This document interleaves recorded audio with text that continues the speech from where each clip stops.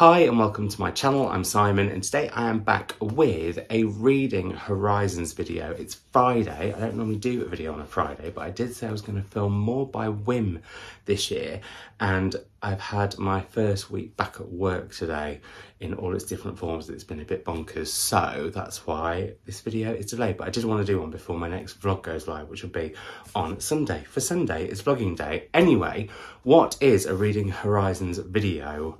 You may well be asking. It's something that I used to do on a podcast called The Readers with both Gavin and Thomas, my co hosts. And that's where we talk about what we had read, what we were reading, and what we were thinking about reading next. And I thought I would also talk about the January Savidge prompt for January. For me and my mum are doing uh, 12 prompts this year that lots of you lovely lot picked for us. And yeah, there's a video of mum's uh, on mum's channel where she goes through all of the 12 I will, in fact no there's 13 because there's a bonus one. I'll link that down below so you can find out more but we'll talk about january's shortly um, because what i read next is going to be inspired by it as i realized there were two ways you could do january's prompt after i saw mum's video about it just the other day. Anyway get ahead of myself. Let's get to what I wanted us to talk about first, which is Reading Horizons. So yeah, like I said, what I have just read, what I'm currently reading, and what I'm planning on next. So the book that I have just read, if I pop them there, can you see the covers? Is that too easy for everyone? Yeah, it kind of is. I think I need, I've had a bit of a move around of stuff in the library and got lamps, which has made such a difference. But um, yeah, it doesn't mean that I can do sort of like a secretive reveal. So I'm going to lean slightly that way to the other chair and get some of that golden light, which is also making me look very red and flushed, which I do often for I have Dercum's, which is a chronic illness that makes you flush quite a lot, but I'm not currently having one of those now. Anyway, so what am, or what, sorry, what is the book that I have just read? Well, it is the Other Half by Charlotte Vassell, which is out next week. But I'm doing an event with Charlotte in West Kirby Books on the Wirral in West Kirby. The name of the bookshop gives it away, um, which is a new independent bookshop. And uh, Charlotte is having a launch there where I'll be chatting to her about this uh, tomorrow as this goes live. So if you're around the area, check out West Kirby Books on Instagram. And if you want to get a ticket, get a ticket. It'd be lovely to see you there. I think I'm already going to be seeing some of you there, which is very exciting because you're on the ball. And if you want to know about more events and stuff that I am doing on the off chance that you want to come to them or if they're online or whatever, then do check out my Instagram because I tend to update that. I am on iron about whether I need to get a website or not, but that's a whole other thing. What's this book about? Well, this book, I have to say from the cover, I wasn't sure it was going to 100% be for me, but I really wanted to support a debut author and the bookshop because it's a new indie. However, after the first chapter, I was absolutely hooked. It starts off in a McDonald's in London where on the first floor there is a party for basically the uber rich. So you go through the downstairs at McDonald's and then go off up into this ridiculous champagne coke fueled, not the coke that they do at the Tills and McDonald's uh, party. And we get to meet these kind of odious characters. We know, however, already that one of them is either already dead or is going to die. And you find out afterwards that actually they died, they didn't end up at the party. And then obviously there's a murder mystery to solve. Who would want her dead? And it goes from there. And honestly, as soon as the the first chapter I was a bit tentative about, but as soon as we got into the mindset of the detective, Detective Beauchamp, we just there's something about him that is so readable. It still remains like serious about what it's looking at in terms of murder. It doesn't try and make it comedy or farcical. Are they the same thing? It just has this sort of life about it. And I did compare it earlier this very day to some of Kate Atkinson's Jackson Brodie writing. It's not like, it's not the same, but it has sort of fizzes and sparks of that, if you know what I mean. I definitely think Charlotte Vassell is going to be an author to watch. It also looks at art history, it looks at the publishing world, it looks at class, it looks at race. Lots of stuff about names in here, which I'm really looking forward to talking to Charlotte about. Yeah, really, really, really good crime. And I have not read enough crime over the last year or two, and I love a crime novel. And this has reminded me that I must head to more. So, yeah, I would recommend this if crime is your thing. And like I said, give it a couple of chapters, you'll literally be hooked in from Detective Beauchamp. It, it's just, there's he's not like other detectives either in so many ways. I, yeah, I don't want to spoil anything, so I'm being really careful. How I'm going to talk about a crime novel for 50 minutes tomorrow and not include any spoilers is going to be an early 2023 challenge. So that's what I've just read. What I am currently reading is Daisy Jones and the Six. I'm actually reading, I put this put off the wrong pile. I'm actually reading this uh, well, I'm reading that edition, but this is the edition that I'm going to be keeping. I really love the American editions of Taylor Jenkins Reid's books. Now, I have had Summer Shells quite a while. Loads of people have told me that I would love Taylor Jenkins Reid before I did an event with her last year for Carrie Soto's Back, which I read for the event, obviously, and really, really, really, really loved. And I love Taylor's bits too this I think is absolute genius. The first time I picked it up, I think it was a couple of years ago, I looked and saw that it was almost like script because you kind of have the characters. Um, I mean, loads of you have read it, so it feels a bit like redundant to show you this, but you can see it's sort of done through different um, people speaking. And I wasn't sure that was going to work. It absolutely does, and I think Taylor Jenkins Reid is a genius for that because that's really, really, really hard to pull off. And I just think the way that through the different conversations that I had and seeing them from different people's perspectives builds a really true version of a different character because of how they're perceived by everybody and because of the motivations or prejudices or presumptions that people have made around them. It follows a band called The Six as they become quite well known. They then do a duet with Daisy, who are also getting to know, and from there it's kind of just like rock royalty that's where I've got to. I haven't got much further. I was completely influenced into reading this by my friend Tess, who I also work with, who I sent a signed copy of Malibu Rising because it had a quote with me inside, and I thought, oh, that would be a nice thing to send someone, which is also, I've just realised, slightly egotistical, but I thought she'd really like uh, Taylor's writing anyway. And um, a copy of Malibu Rising. She absolutely loved it and then got Daisy Jones out from the library and was like, Simon, it's great. You really, really need to read it. And because I was seeing her on yesterday, was it yesterday? I am losing my days already because it's one of those days that's been a bit, it's one of those weeks where after having not worked for quite a while, I had suddenly was on everything and got confused. Anyway, because we were catching up, I thought I'm going to start that, and I read it on the train. Started reading it on. I didn't read it all. I started reading it on the train to Birmingham because we were meeting in Birmingham for a team away day, which included escape rooms, which I well we all failed at, and I was devastated by. Frankly, we all got nuked. Awful.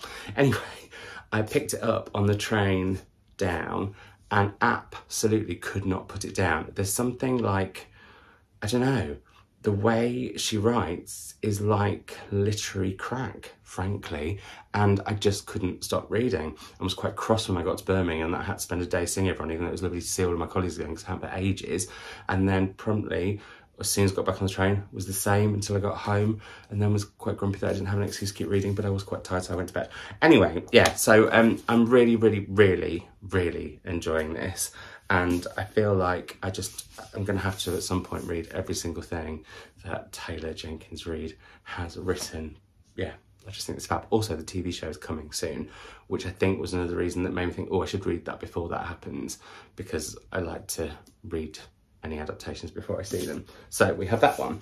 Now, on to what I might read next, which links in to January's Savage prompt.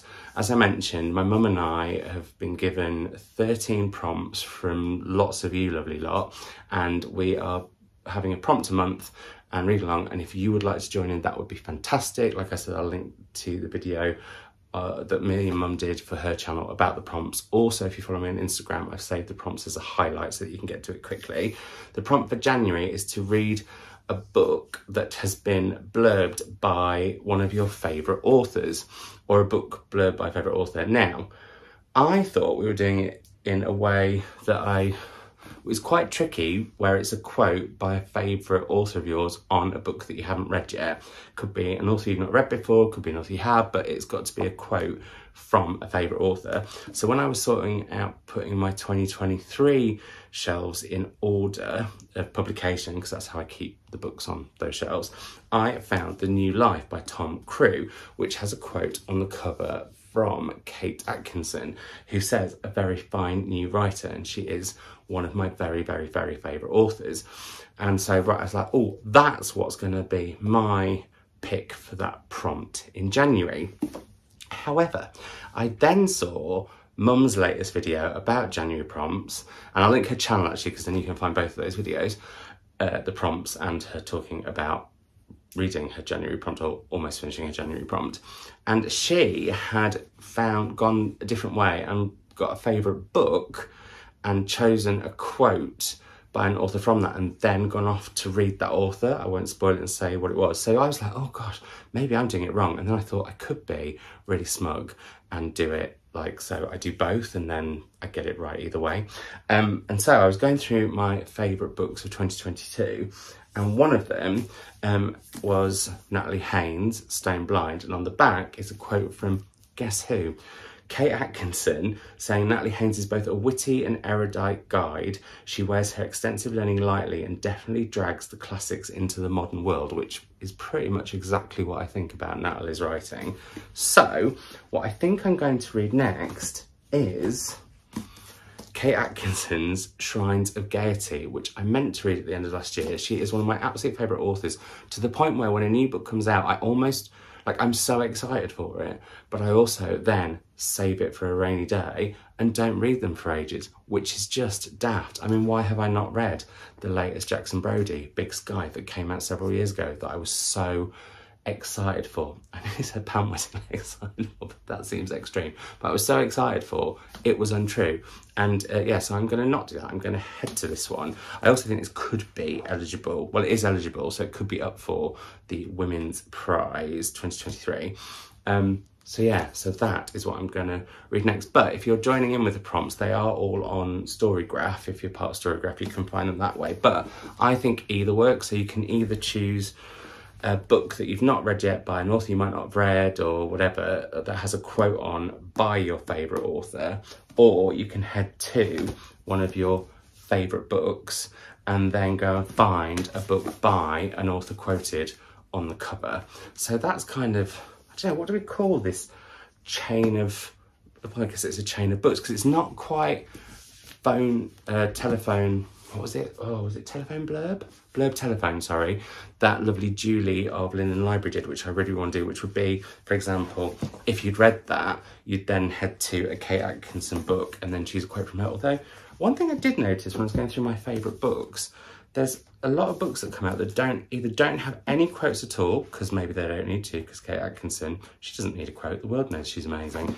Or it could be that they're just from newspapers, and let's be honest, I love The Guardian, but I'm not going to go off and read an entire copy of The Guardian after reading this, um, which makes the game a little bit tricky. And also, like, yeah, so I could start with this one, for example, and then go to Kate Atkinson, and but again, then I would be stopped. So anyway, it's something else, a book chain, I don't know, a book tryst, a tryst, because there's three, is, it, is three a tryst? I feel like it is, a triptych, a tryst, whatever. I'm just waffling on right now, but um, suffice to say, that is my, sorry, oh, I'll show you what the other books were, just because random, because they were down here. So I had the other edition of Taylor um, Jenkins Reid's Daisy and the Six, because that's the one I'm reading from. But spookily, um, I was looking through books I acquired recently because I bought this gorgeous signed edition of Black Cake in a foil sale with, oh, those spreads, somebody stop them, no, don't. Um, and on the quote is a, uh, on the quote, and on the cover is a quote from Taylor Jenkins Reid saying that Charmaine Wilkerson's Black Cake is a story as meaningful as it is delicious. It turns delightfully juicy and then stunningly wise. Black Cake is a winner. So I'm definitely going to head to this one soon.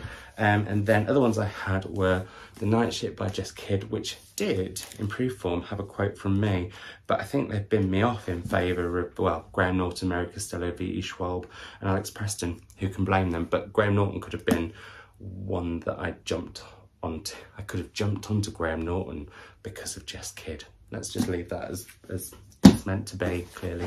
Um, moving on.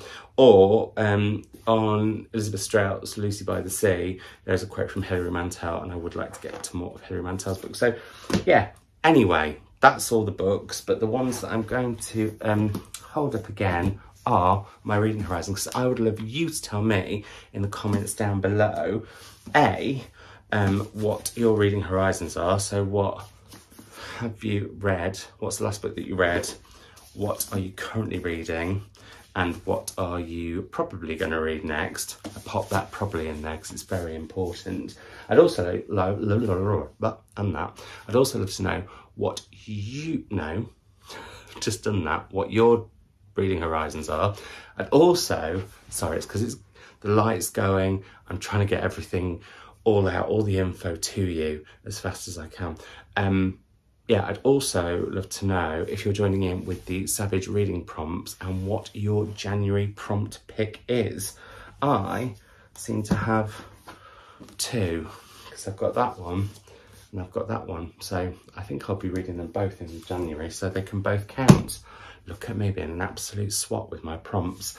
Um, I hope you've got lovely weekends ahead. As I said, I'll be doing the event with Charlotte tomorrow. Before that, off to go and see Megan tonight and then go for some fabulous Italian sourdough pizza at Rudy's. And then Sunday, I think is going to be a pretty chill day. I am really excited about Megan though. Um, anyway, I'm going to go. I will speak to you all soon. I hope you're doing super duper well. Let me know your reading horizons. Let me know if you're joining in with the Savidge prompts and if so, what your January prompt pick is. And see you all later. Bye.